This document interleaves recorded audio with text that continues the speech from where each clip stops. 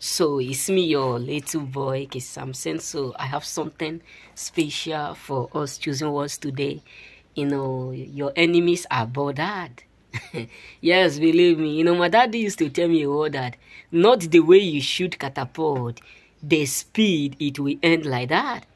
You know what I'm saying? Not the way you release a bullet is this that the same speed it, do what it go when it's about to reach to the to the final destination. It do what it go down slowly.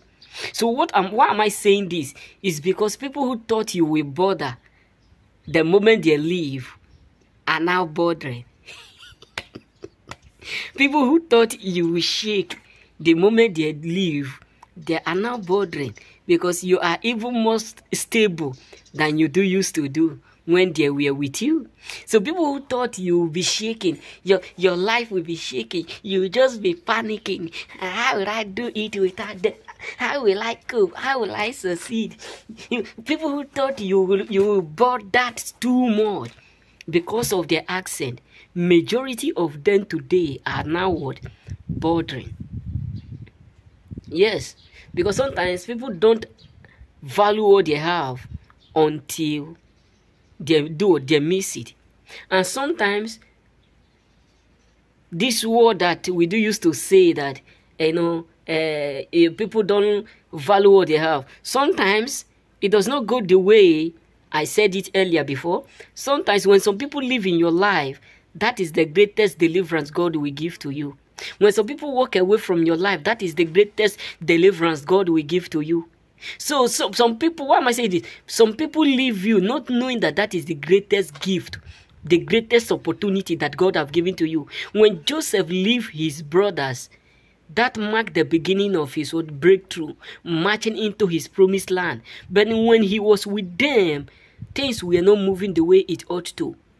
So that is why you need to understand that some people will tell you that if they live your life, you won't be able to make it nor succeed. If they live your life, you will be bothering, not knowing that God is using them to show his wonders by letting them go. Not knowing that sometimes by, by letting these people go is a breakthrough, it's a testimony, it's a miracle because miracle cannot tire God of doing. So God is not tired of doing miracle. So that is why you need to understand that sometimes when people live in your life, you need to celebrate. Because not everyone who stay with you are really with you. Sometimes you need to let garbages go in order for the right people to stay. So why am I saying this is because majority of people are bothering secretly. They are bothered because they have made the mistake of leaving you. They have made the mistake of having that, that mindset that they will surely be able to see someone up there. They will surely be able to find out someone that is better than you because they have fully come to understand that there is no one up there that can take your place. There is no one up there that can replace you. And this is the main reason why they are unhappy. This is the main reason why they are filled with sadness. This is the main reason why majority of people up there are absolutely devastated. This is why life is exactly hitting many. This is why a lot of people cannot be comfortable whenever they are what with you or without you. Because they have finally come to understand that they made a mistake. So their thought was that if you if they live your life, you will start to bother too much. You will start to overthink. You will start to have sleepless nights. You will start to you know think about them. That may lead you to that point where you will come back to them. But believe me, majority of these people who have left you are secretly what bothered.